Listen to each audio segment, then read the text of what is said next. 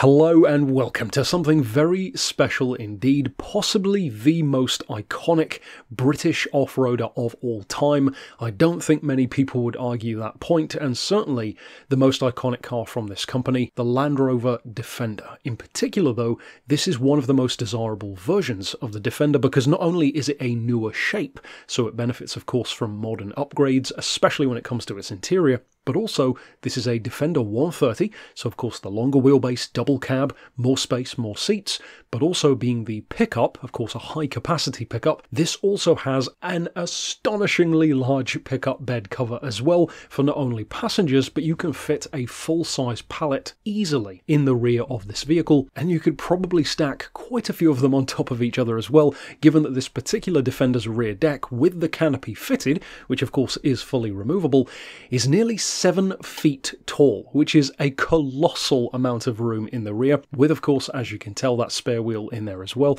Now, of course, this one's a 2.4 TDI. As mentioned, it is a Defender 130. It's a county edition on top of that, a 2008 model in particular, and for less than £30,000, that is not only a good price for this vehicle, it's actually a very competitive one, given not only the fact that you will struggle to find another one with this spec for that kind of price, if you can at all, but also, of course, the Defender market has exploded in recent years because of how popular they are and also because of them not being available in this form anymore. Now, this particular Galway Green example has a massive service history file behind it, as well as, of course, you would hope for two keys and its book pack intact, and its most recent keeper, of which there have only been three since brand new in 2008, has had this vehicle since 2018, and clearly it has served them very, very well, as of course you would expect a Land Rover Defender 2. It was incidentally originally supplied by W.J. Joyce, a very well known Land Rover specialist,